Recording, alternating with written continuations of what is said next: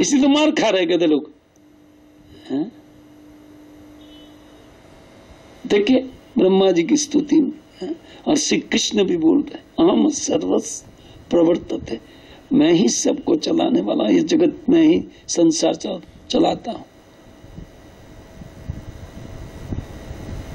इति मत्वा भजनते माम।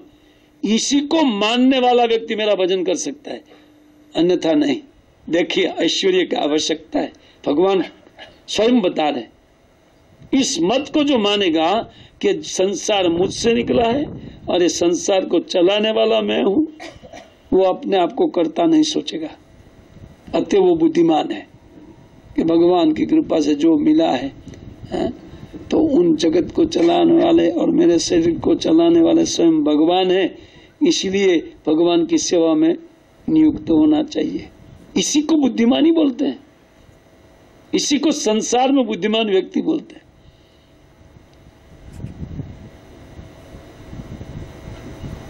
हाँ, और बुद्धा भाव समन्विता कहते समस्त भावनाओं वो मुझे अर्पण करता है। हमारी जो भावनाएँ हैं वो बिखरी पड़ी है जगत में। इनको एकत्रित करके केवल कृष्ण में ले जाने का ज़रूरत। इसी को कृष्ण भावना कहते हैं। श्री प्रभुपाद महाराज बारम्बार शब्द कृष्ण भावना कृष्ण भावना। यही। नाना प्रकार का भाव हमारे हृदय में जागृत होता है। लेकिन वो भाव क्या हा? उसमें माया का भाव ही जागृत होता है। उसके स्थान पर कृष्ण के प्रति भावना जागृत होनी चाहिए। लेकिन उनके ऐश्वर्य के बिना नहीं होता है। इसे कहते हैं आद्यम। आदि। विश्वनाथ चक्रवर्ती ठाकुर के अनुसार अगर हम लोग चले, वो कहते हैं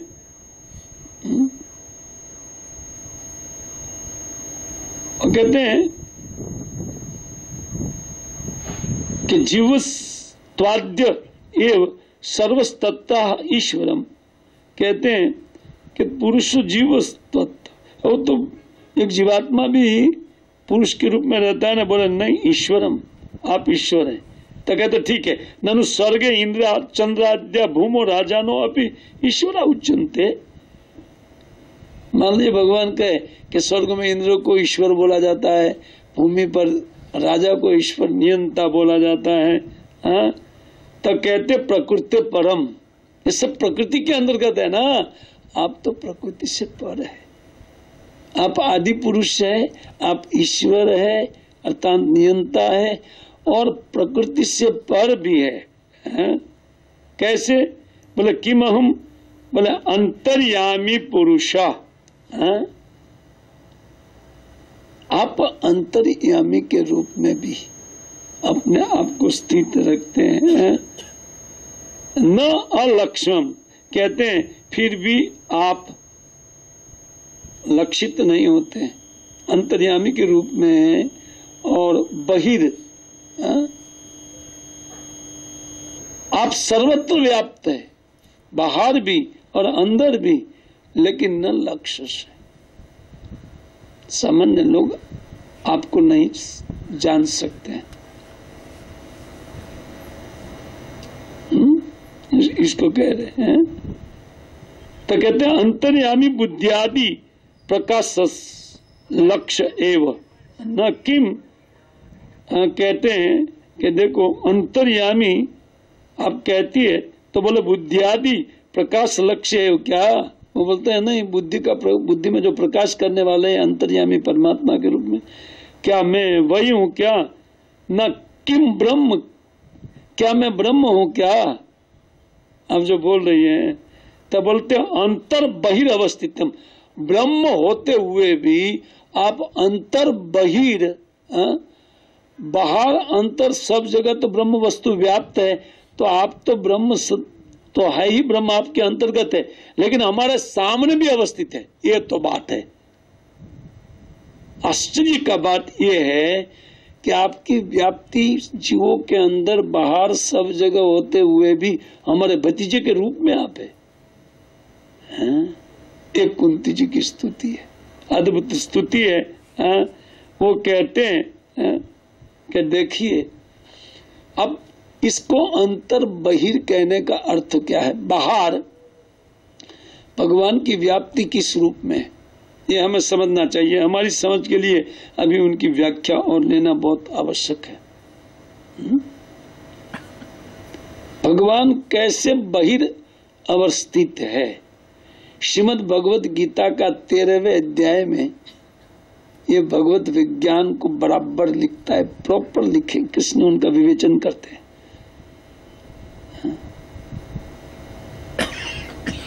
चित्र और चित्रज्ञ के विषय में जिज्ञासा किया जब अर्जुन ने। आइए, थोड़ा हम लोग भगवत गीता में चलते हैं, क्योंकि जब तक हम लोग इसका पाठ नहीं लेंगे, तब तक हमारी समझ में नहीं आएगा।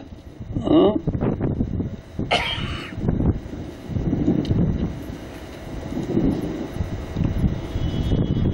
भगवत गीता में तेरहवें अध्याय में इसका विवेचन भगवान अर्जुन की प्रश्न का उत्तर देते हुए कहते हैं हुँ? हम्म? वो कहते हैं कि अब मैं एक जानने योग्य तत्व को तुमको बताता हूँ हाँ? अच्छा वो क्या है तो बोलते वो मेरा एक रूप है गेयम यद तत् प्रवक्ष्यामी यद ज्ञातवा अमृतम अश्नुते अर्जुन एक जानने योग्य तत्व को मैं बताता हूँ गेयम तत् प्रवक्ष्यामी हाँ? मैं उनको बताता हूँ हाँ, जो ज्ञेय वस्तु है जो जानने योग्य वस्तु है। अच्छा क्या लाभ है जान करके? बोले जद ज्ञातवा अमृतम अस्तुते जिनको जान करके जीव मोक्ष का मोक्ष को प्राप्त होता है अमृतत्व वस्तु अमरत्व प्राप्त करता है जीव का जन्म मरण टल जाता है न क्या न अनादि मत परम ब्रह्म ये तेरहवे का तेरहवा श्लोक है तेरा तेरा हाँ?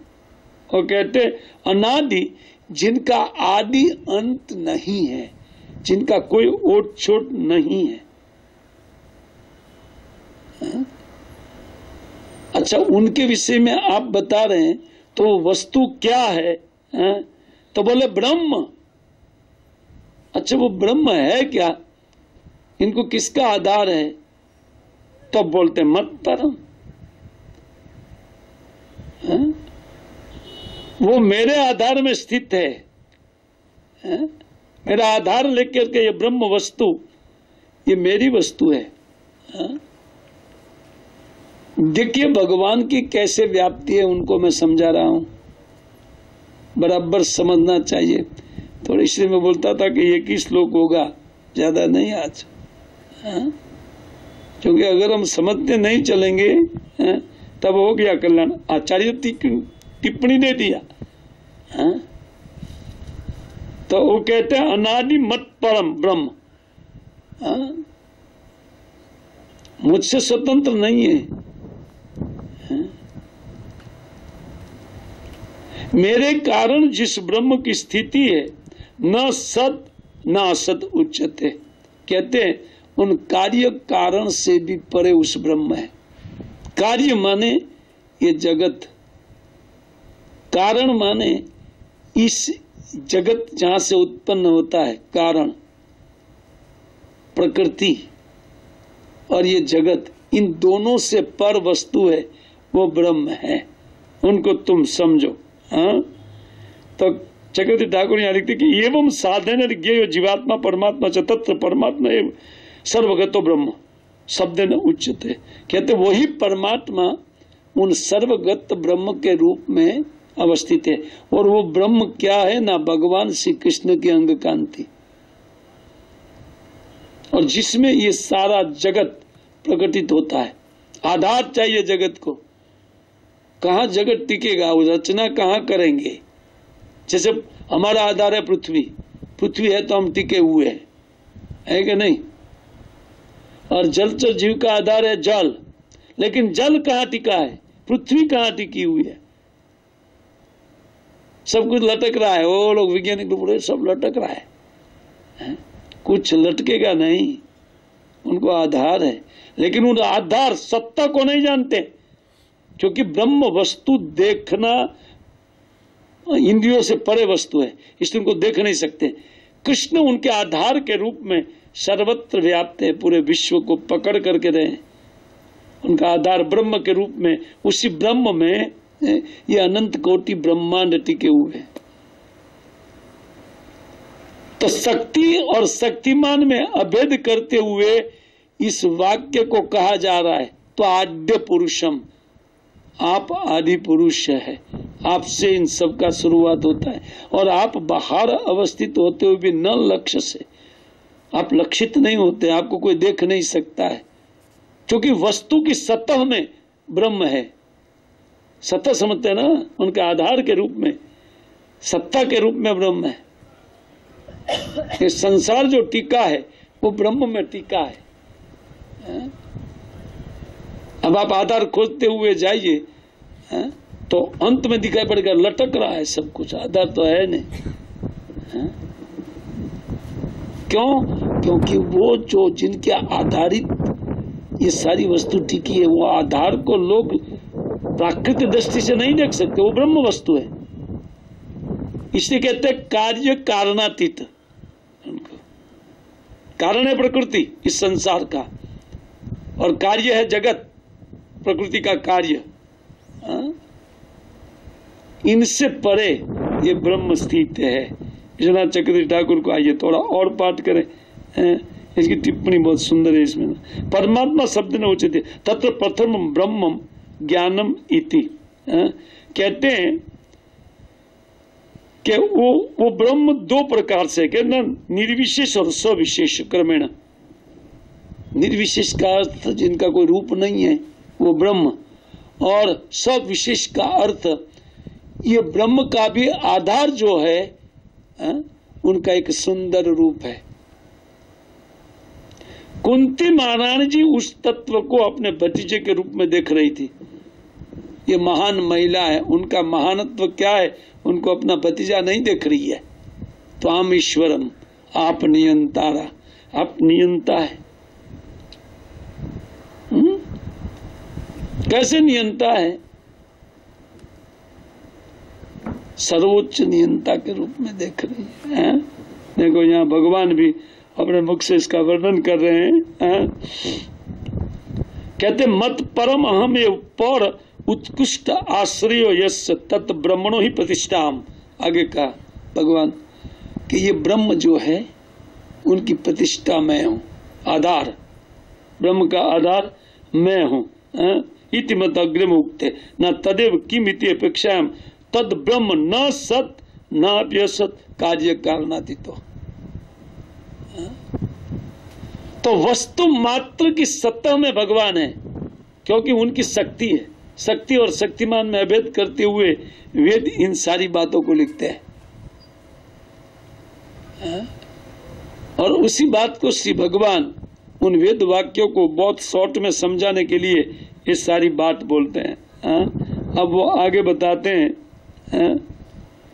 इसमें तो बहुत व्याख्या दिया हुआ, कहते, या या श्रुति जलपति निर्विषम सास अभिपद्धति में विचार योगी संत्यंत ता संप्रायो वलीय सविशेष बहुत श्लोक है ये अयर्शिष पंचरात्र का श्लोक कोट किया है बोलते, ये श्रुति में लिखा है आ? कि भगवान निराकार है, उनको क्यों लिखा गया है भगवान के पास हमारे जैसा हाथ पैर नहीं है उसका अर्थ ये नहीं है कि हाथ पैर बगैर भगवान है। क्योंकि श्रुतिर जलपति आया जहाँ जहाँ लिखा है कि ब्रह्म को हाथ नहीं है तो पकड़ता ये भी लिखा है। हाथ में तो कैसे पकड़ेगा? उसका अर्थ आपके जैसा हाथ नहीं है, प्राकृत। जो थोड़ा लकवा मारने से एकाध एकाध नस ब्लॉक होने से, बाल जैसा, फिर हाथ भारी हो जाएगा, उठा नहीं पाएँगे। ऐसा हाथ नहीं हुँ? जो हाथ सर्वत्र व्याप्त है। भगवान का हाथ सर्वत्र व्याप्त है। वो कहीं से भी अपने कोई भी भक्त का रक्षा अपने किसी भी हाथ से कर सकती, क्योंकि हमारे पास जो हाथ है, हमारा नहीं है। किसका है? भगवान का है। क्यों? क्योंकि प्रकृति की देन ये शरीर है, हमारा शरीर नहीं है। ये तो पृथ्वी जल अग्नि वायु आकाश से बना है, और वो प्रकृति उनकी अध्यक्षता में कार्य। और तब भगवान का हाथ है, हमारा नहीं। तो भगवान अपने भक्त की रक्षा कहीं पर भी कर सकते हैं। कहने का अर्थ, आप आदि पुरुष है, आगे भी सब लोग भक्ति करेंगे, उनकी रक्षा आप इस प्रकार करने वाले हैं। क्यों? क्योंकि आपका हाथ सर्वत्र है। सब जगह आपका हाथ है। हाँ? उसी को आगे कहते सर्वत्र पानी पादम, आगे के श्लोक में है।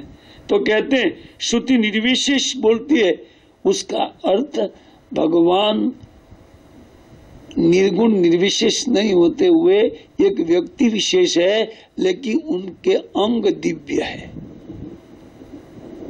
हमारे जैसे प्राकृत नहीं है। तो बोलते विचार योग्य संत्यंत। जब उनके ऊपर विचार किया जाएगा, इन दोनों परस्पर विरोधी बातें कि वो पैर नहीं होते हुए भी चलते हैं? अपानी पादम गच्छन्ति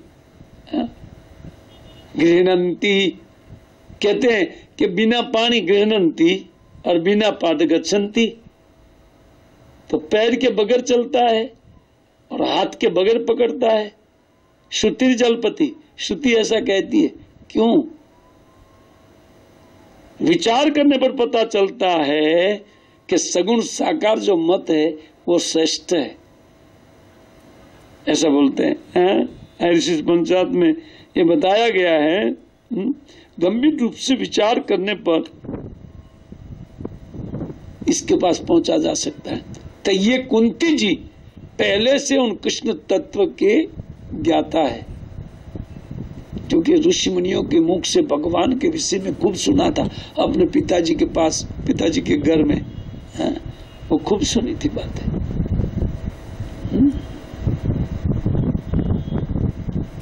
इसलिए वो परम ज्ञानी व्यक्तित्व है महारानी कुंती? देखिए, भगवान की उक्ति उनके साथ मिल रही है हा?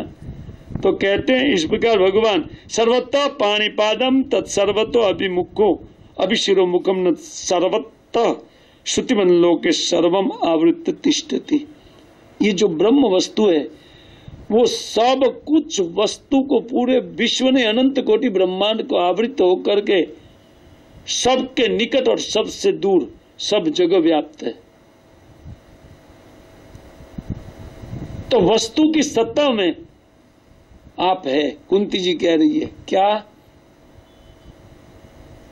अंतर बहिर अवस्थित वो देख रही थी कि कैसे भगवान अंदर और बाहर है। परमात्मा के रूप में भीतर और वस्तु के रूप में बाहर स्थिति है। क्योंकि वस्तु की सत्ता में जाएँगे तब पता चलेगा हाँ, कि ये तो ब्रह्म वस्तु है, जिनका आधार को लेकर के सभी वस्तु है और ब्रह्म की शक्ति से संसार चालू है और ब्रह्म को आधार है कृष्ण का। कृष्ण प्रकृति के साथ कभी सीधा संपर्क रखते ही नहीं है। इसलिए कहते प्रकृति परम। वो सोचने मात्र से वो कार्य करना चालू करती है। स्पर्श तक नहीं होता है प्रकृति का, भगवान को।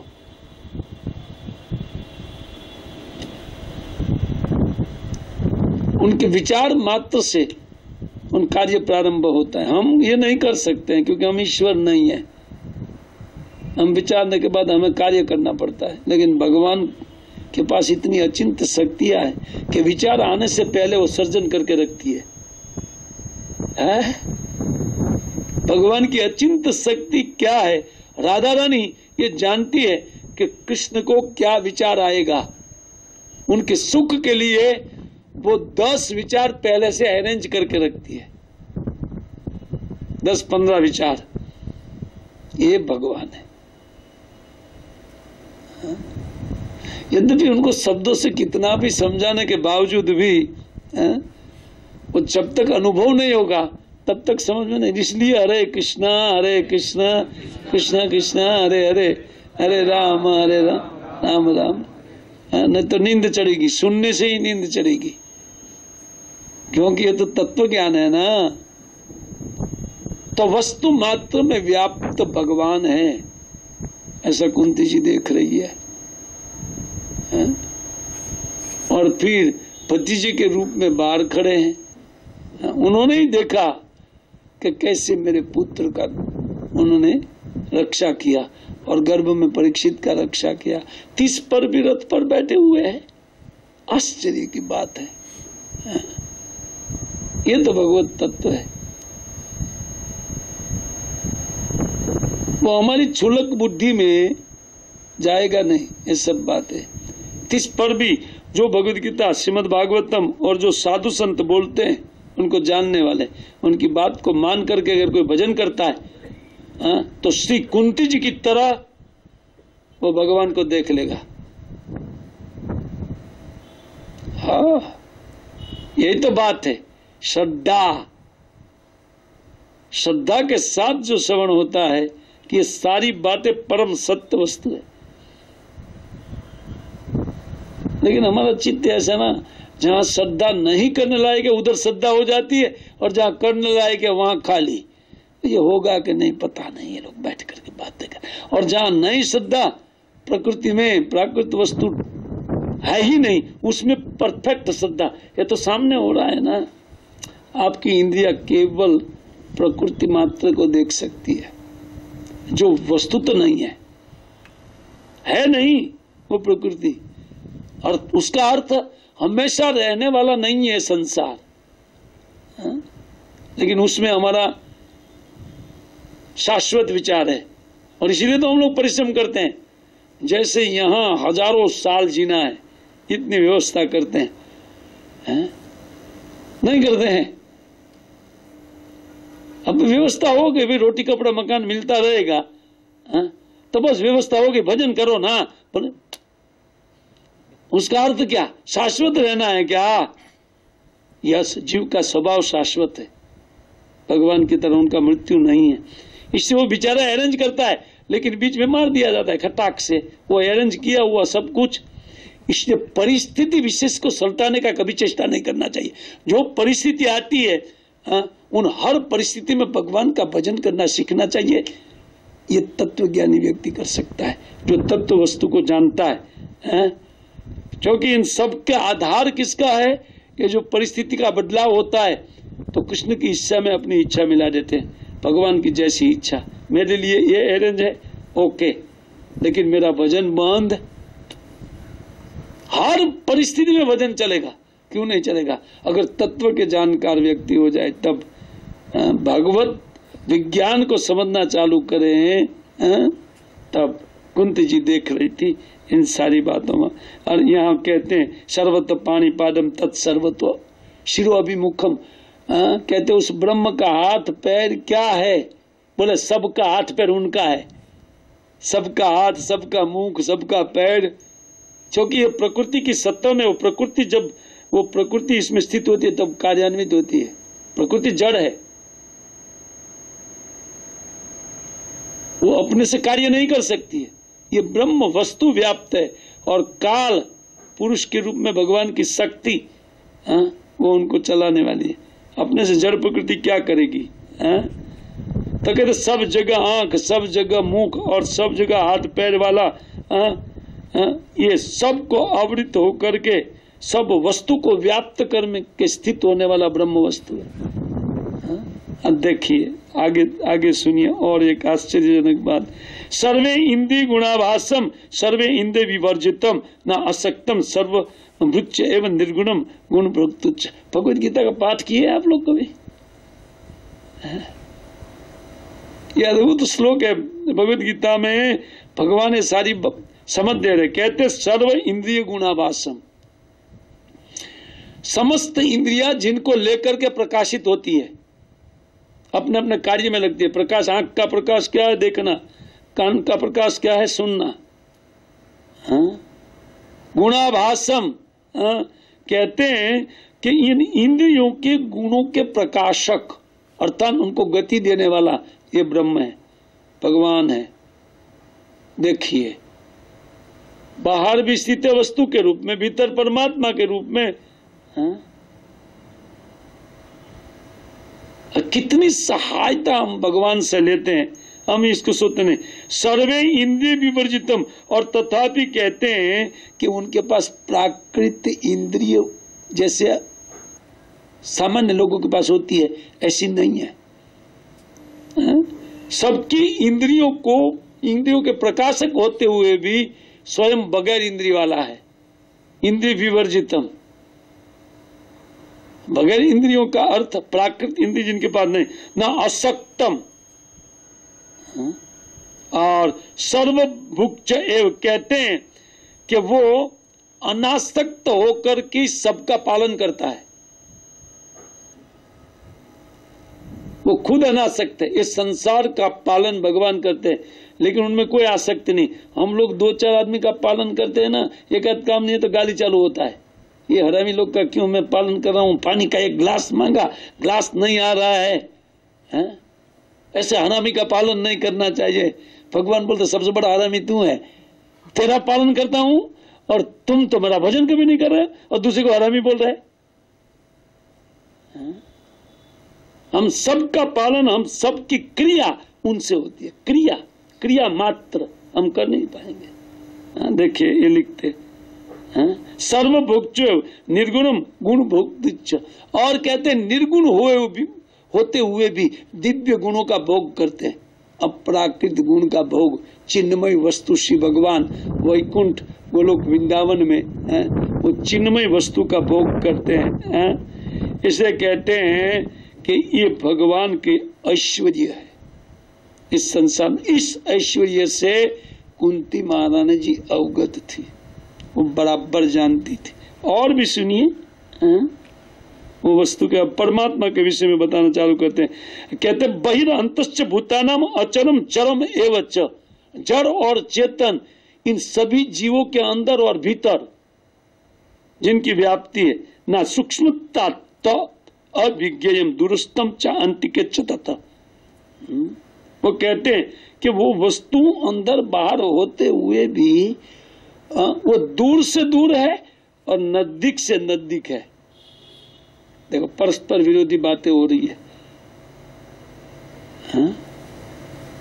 दूर से दूर।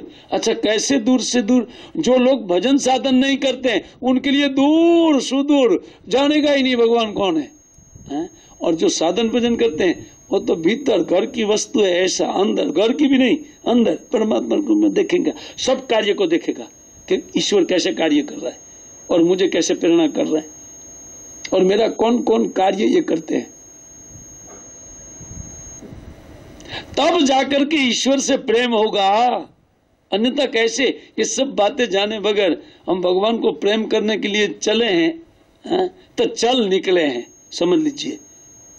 हाँ? हमारे गुजरात में हाल ही सीध निकलिया छो प्रेम करवो छो હાલી નીકળ્યા છે પ્રેમ કરવા हाँ जब तक हम लोग इसको ठीक से नहीं दर्शन समझ में आएगा तब तक भगवत तत्व का ज्ञान नहीं होगा और भगवत तत्व को जाने बिगड़ हमारा भजन चलता है इसीलिए निद्रा आती है इसीलिए सारा कुछ झंझट होता है और श्रवण में भी आलस्य आता है कल का प्रवचन अच्छा था आज का थोड़ा डाउन था आज कुछ समझ में नहीं आ रहा है।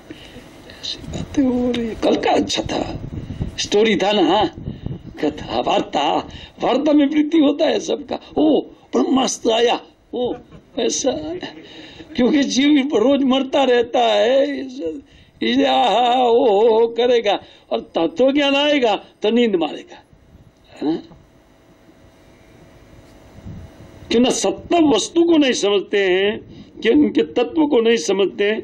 इसलिए कहते वो सूक्ष्म से सूक्ष्म वस्तु है, दूर से दूर और नज़दीक से नज़दीक है। भजन करने वालों के लिए नज़दीक है और दूर से दूर, सुदूर पाएगा जो भजन नहीं करने वाला व्यक्ति कभी परमात्मा वस्तु को दर्शन नहीं कर पाएगा। अंतर बहिर अवस्थितम, कुंती जी जो बोल रही है वो देख रही थी तो भगवान का क्या ऐश्वर्य है। कि वो रथ पर है, इधर बैठे हो, अंदर है, पदार्थ में है, इधर है इधर है।